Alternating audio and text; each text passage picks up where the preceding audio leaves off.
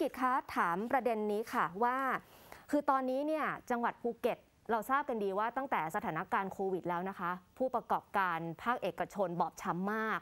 แล้วก็ถึงแม้ว่าจะมีการเปิด Test and Go เองนักท่องเที่ยวก็อาจจะยังไม่ได้มาแบบเต็มรูปแบบนะคะ ไม่ได้เป็นไปตามที่เป้าเป้าหมายวางไว้มากนัก ทีนี้พอเราวาง การท่องเที่ยวในเชิงสุขภาพแบบนี้เอาไว้ได้เนี่ยด้วยด้วยได้เนี่ยนะคะ คุณภูมิกิจมองว่ามันจะสามารถเดินไปได้สำเร็จหรือไม่อย่างไรรวมถึงควรจะต้องได้รับการสนับสนุนจากภาครัฐยังไงบ้างกับเรื่องนี้อะคะมันมีอยู่สามเรื่องที่จำเป็นมาก อันที่หนึ่งก็คืออคนคนในเนี้ยคนในภูเก็ตจะต้องเห็นด้วยเห็นชอบ ซึ่งผมคิดว่าตอนนี้ไม่ต้องประเด็นเนี้ยไม่มีประเด็นละคนเราเห็นด้วยอยู่ละประเด็นคือ ความต่อเนื่องของการสนับสนุนของภาครัฐครับอืมหลายโปรเจกต์เนี่ยเกิดขึ้นแล้วมันไปไม่สุด มันเกิดขึ้นแล้วมันมันก็มันก็มีเหตุการณ์ระหว่างทางงบประมาณไม่พอรวมถึงกำลังคน หรือแม้กระทั่งรูปแบบการบริหารจัดการที่ไม่ถูกต้องตั้งแต่แรกค่ะเอ่อมันแบ่งเป็นสองเรื่องนะครับ คือการเริ่มต้นกับการบริหาร เริ่มอะสร้างอาจจะเสร็จแต่บริหารแล้วมันไปไม่ได้ หลายหลายโปรเจกต์เนี่ยมันเกิดต่างประเทศเนี่ยเราพบว่าในหลายโปรเจกต์เนี่ยมันเกิดขึ้นได้แต่มันไปไม่รอด เนื่องจากว่าการรูปแบบการบริหาร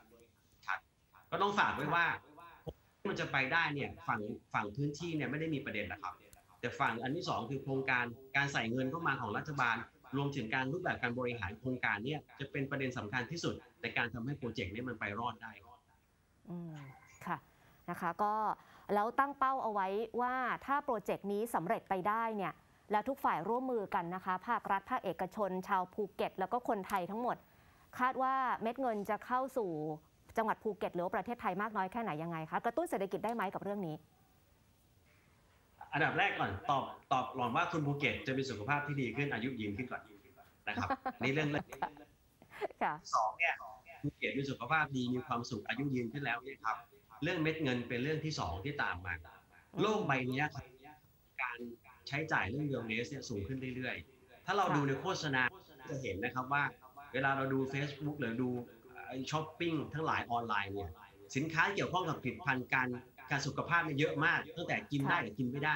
มีการขาย supplement รวมถึงการทาประทินโฉมทั้งหลายเนี่ยเยอะมากหมดเพ ราะฉะนั้นเนี่ยโอกาสมันไปได้จริงๆครับทุกคนหันมาดูแลสุขภาพเพิ่มยิ่งขึ้น ยิ่งมีโควิดเนี่ยทุกคนยิ่งรู้สึกว่าสุขภาพเป็นเรื่องสำคัญ และต้องการที่ดูเองเนี่ยมีสุขภาพที่ดีต่อไป